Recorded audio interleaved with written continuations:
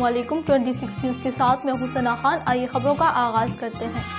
कोयटा में retired captain SSP शेर अली साहब की अहकाम पर city Syed Naseer Shah, DSP traffic city circle Mohammad Qasim सिलाची city circle Mudassar Ali की निगरानी में ट्रैफ़िक सार्जेंट आज़म साहब ने अपनी टीम और हवलदार शहबाज खान रऊफ चाँद दीगर के हमरा कोयटा में काबली गाड़ियों और काले शीशे और फैंसी नंबर प्लेट लगाने वाली गाड़ियों के खिलाफ क्रैकडाउन जारी किया। इसी हवाले से जानते हैं हमारे ब्यूरो चीफ निसार बलोच। जी असलकुम इस टाइम हम कोयटा में मौजूद हैं कोयटा में जिसके आर्ट स्कूल रोड पे हम इस टाइम जानना चाहेंगे एसपी साहब से कि हमें क्या मैसेज देंगे? मेरी आवाम से सिर्फ़ एक ही गुजारिश है कि एक तो वो नो पार्किंग जोन में अपनी गाड़ियों को पार्क ना करें और वन वे की खिलाफ वर्जी से जो है ना इजतनाब किया जाए। वन वे की खिलाफ वर्जी ना करें। वन वे के ऊपर हमेशा जो एक्सीडेंट होते हैं। और सबसे बड़ी बात यह है कि कोयटा में अब एक सर्कुलर रोड पर पार्किंग सरकार की तरफ़ से पार्किंग बनाई गई है, जिसमें 600 गाड़ियाँ जो है वो खड़ी हो सकती हैं एट अ टाइम तो जितने भी लोग मुस्तकिल बुनियादों पर अपने लियाकत बाज़ार आर्ट स्कूल रोड पे कंदारी बाज़ार में गाड़ियाँ पार्क करते हैं, उनको चाहिए कि वो अपनी गाड़ियों को ले जाकर पार्किंग में खड़ा करें। उसका तो किराया भी नहीं ले रहे वो। पार्किंग टिकट भी नहीं है। बाकी ये है कि रोड की वायलेशन जो है उसके ऊपर कोई कार्रवाई में गाजी सिटी साहब जो हमारे एसपी सिटी हैं और कासिम सलाची साहब हमारे जो सिटी सर्कल के डीएसपी है और बशमूल मेरे और स्टाफ ने तो हमने पचानवे के लगभग चालान किए नो पार्किंग और डबल पार्किंग पर और ब्लैक पेपर पर और फैंसी नंबर प्लेट से। जैसा कि एसपी साहब ने कहा है कि सूरजगंज बाज़ार में सर्कुलर रोड पे एक पार्किंग प्लाजा का अफ्ताह हो चुका है सीएम साहब ने की है।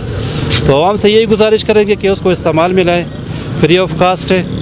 ताकि दुकानदार आज़ाद से खसूस हमारी गुजारिश है कि अपनी गाड़ियाँ वहाँ पार्क करें ताकि रोड पर कस्टमर के लिए स्पेस रहे वो अपनी शॉपिंग के लिए आएँ तो उनके लिए पार्किंग की जगह हो।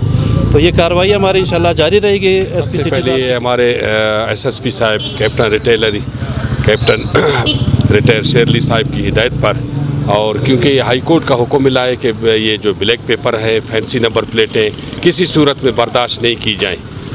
हता सा हता के हम लोगों ने अपने सरकारी गाड़ियों को भी ब्लैक पेपर उतार दी है।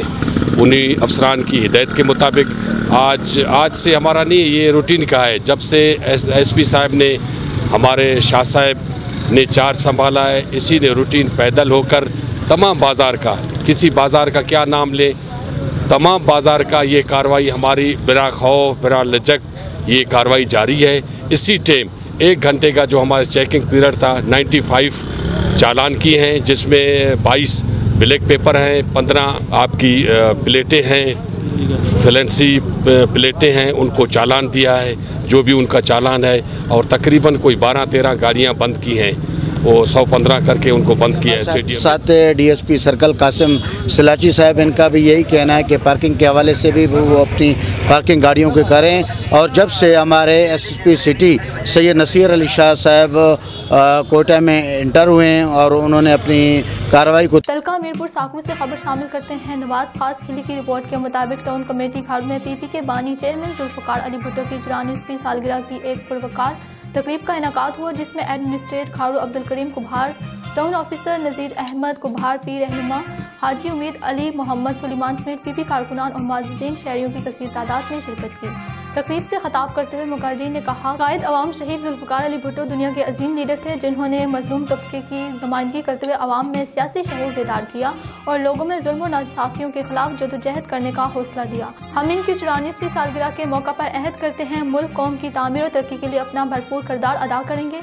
इस मौके पर शहीद जुल्फ़कार अली भुट्टो की सालगिरह का केक भी काटा गया। एस कोहूटा उमर सदी गुजर की गाड़ी पर नामालूम मुलजिमान की फायरिंग फायरिंग के दौरान एस एच ओ उमर सदी गुजर महफूज रहे।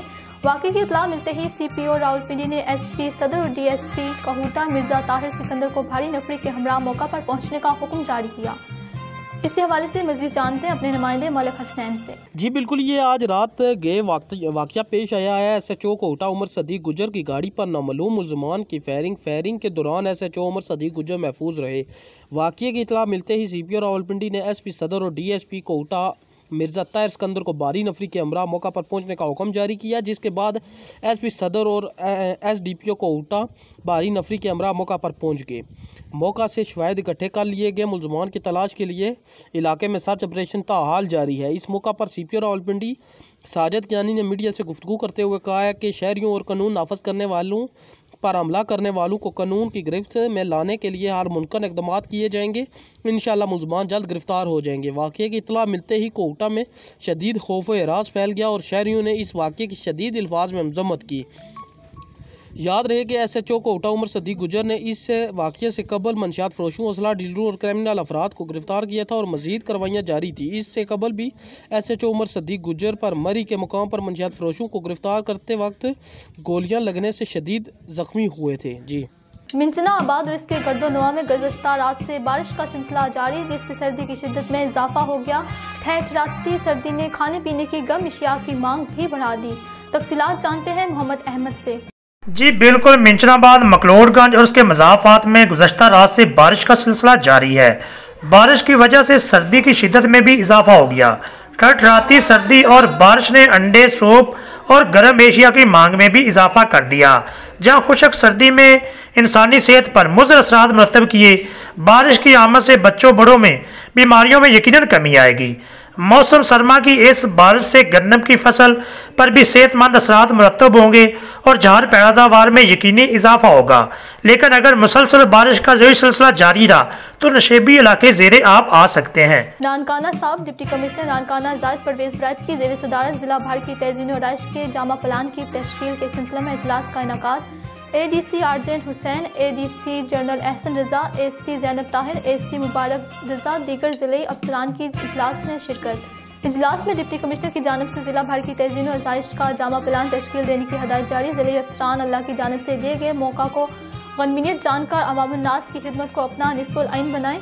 डिप्टी कमिश्नर नानकाना जाहिद परेज रैच का कहना है कि अपने फ़र्ज़ को पूरे दिल के साथ अंजाम देकर आवाम के लिए मिसाल बना जा सकता है। असिस्टेंट कमिश्नर साहिबान जिला भर के तजीन राइश का जामा प्लान एक हफ़्ते के अंदर पेश करें। वाजह है कि फ़राइज से गाफिल अफसरान को जिला भर में कोई जगह नहीं दी जाएगी। खबर शामिल करते हैं, तलका रिपोर्टर नवाज़ खास की रिपोर्ट के मुताबिक प्रेस क्लब घरों के सालाना इंतबात नेशनल प्रेस क्लब ठटा के सदर महबूब बरोही, दहाबी जी प्रेस क्लब के सदर मकसूद अहमद चौकियों, अंजमन ताजरान घाड़ू के सदर मौलवी मोहम्मद कासिम चांडी और समाजी रहनुमा आसिफ जोकियों की क्यादत में हुए। जिसमें मतफ़ा तौर पर सरप्रस्त आला जुल्फ़ार खास खलीद नायब सदर सईद दान शाह को मुंतहद किया गया। इस मौके पर खताब करते हुए नेशनल प्रेस क्लब छठा के सदर महबूब रोहे मौलवी मोहम्मद कासिम चांडियों, आसिफ चौकी मकसूद चौकियों ने कहा कि सहाफ़ी माशरे में होने वाली नाइंसाफ़ियों की निशानदेही करने के साथ साथ मुजालिम के खिलाफ जहाद करते हैं और हम उम्मीद करते हैं कि प्रेस क्लब खाड़ू के तमाम नौ मुंतब अहदेदारान अपनी ज़िम्मेदारी, ईमानदारी से निभाएँगे। न्यूज़ स्टूडियो से फिल वक्त इतना ही। मजीद खबरों अपडेट के लिए विज़िट कीजिए हमारी website twenty six news H dot T V आप हमें फेसबुक यूट्यूब और ट्विटर पर भी ज्वाइन कर सकते हैं।